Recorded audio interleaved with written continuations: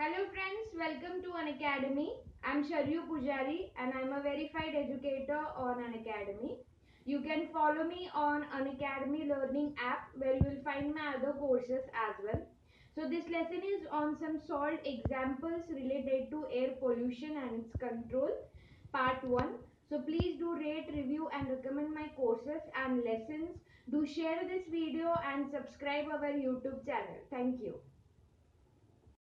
Hello friends, welcome to Unacademy and this lesson on solved examples related to air pollution by Sharayu Pujari. So this is a short introduction about me. This is the link where you can follow me on Unacademy learning app. This is my profile and here you can find my other courses as well which are related to environmental engineering so far. So please do rate, review and recommend my courses and lessons. Do share this video and subscribe our YouTube channel so friends uh, let's uh, see the first example. But before this please do refer my uh, previous lessons which was on introduction to air pollution also which was on classification of air pollutants. So in that we have seen the conversions for finding out the concentrations of air pollutants in the air right? So based on that convergence now some examples we are going to see. This type of examples are asked in gate exam previous gate exam. That's why it is very important for you because this type of examples are expected in next exams like gate ies etc government exams right so the first example we are going to see is a sample of air analyzed at 0 degree Celsius and 1 atmosphere pressure is reported to contain 9 ppm of CO. Determine equivalent CO concentration in micro, micrograms per meter cube and mic, milligrams per cubic meter right so we have to find the CO concentration in micrograms per cubic meter and milligrams per cubic meter right so they have given the CO concentration or contain 9 ppm right? So here temperature is 0 degree celsius. In kelvin it is 273 degree kelvin and p is 1 atmosphere. So this they have given is standard temperature and pressure. So for standard temperature and pressure i have given the formula in my previous lesson. That is 1 ppm is equal to m upon 2 2.4 into 10 raised to 3 micrograms per meter cube right? So co is equal to uh, CO concentration is given 9 ppm. From ppm we have to convert it into micrograms per meter cube and also we have to convert this into uh, mg per meter cube right? So for 1 ppm is equal to this m upon 2 to 4 uh, 22.4 into 10 raised to 3 micrograms per meter cube so first we have to calculate the m that is the molecular weight of co so 12 plus 6 is equal to 28 that is the molecular weight of CO. So, so CO concentration that is 9 ppm of CO uh, concentration uh, it is it, it, it will be equal to 9 into m upon 2 to uh, 0.4 into 10 raised to 3 right?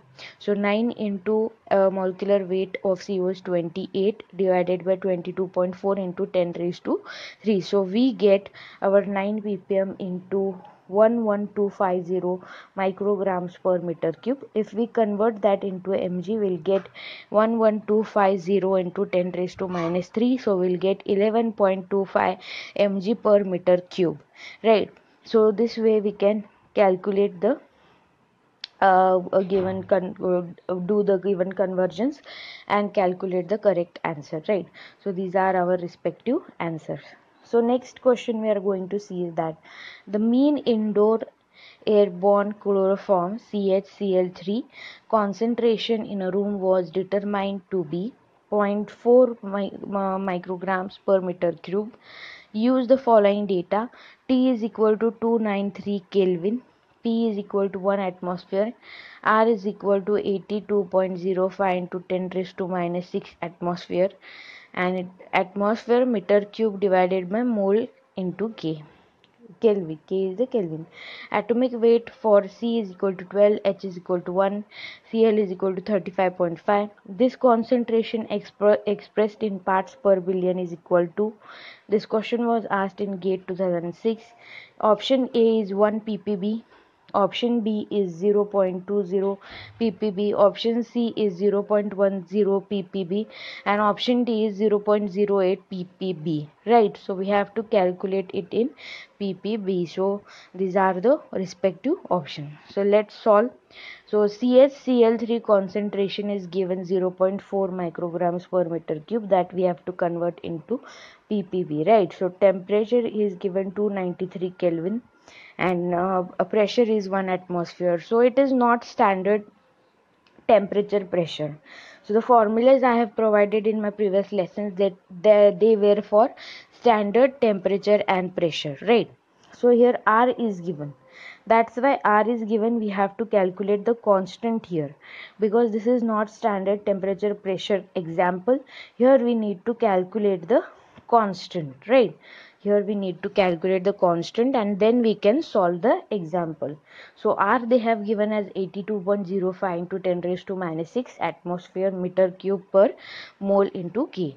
So for this temperature is equal to 293 kelvin and p is equal to 1 uh, constant formula we know constant is equal to 82.05 into 10 raised to 6 this is r t by p right? R into t by p so uh, r we know t 293 and p is 1 so if we put all the values here that is 82.05 into 10 raised to minus 6 into 293 divided by 1 into 10 raised to 3 so we get our constant as 24.04 so we have to calculate the micrograms per meter cube into ppb right? Parts per billion.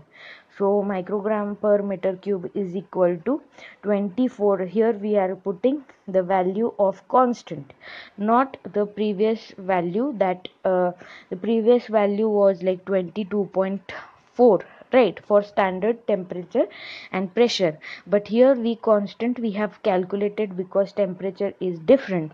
So that constant is 24.04 divided by m. That is the molecular weight of uh, ch they have given. Molecular weight for CHCl3 right? So that will calculate. So here we get 0.4 microgram per meter cube is equal to 0.4 into constant divided by m. So m is equal to uh, 12 plus 1 plus 3 into 35.5 all the molecular weights are given.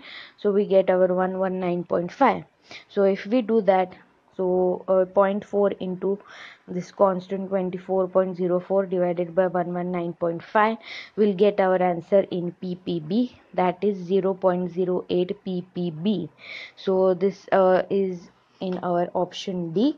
So here option d is the correct option here. So don't get confused if the temperature is not matching or the pressure is not matching to the standard temperature and pressure. You need to first calculate the constant. The constant formula is this. That is r into t by p into 10 raised to 3 so after calculating the pressure uh, sorry constant or after calculating the constant just put that into our formula. And from that formula we can directly get our required answer right? So these were some type of examples asked on the concentration of air pollutants in the air. And these are some important conversions which you need to remember. And practice and practice of more questions will improve you in this section so friends please do rate review and recommend my courses and lessons. Do share this video and subscribe our youtube channel. Thank you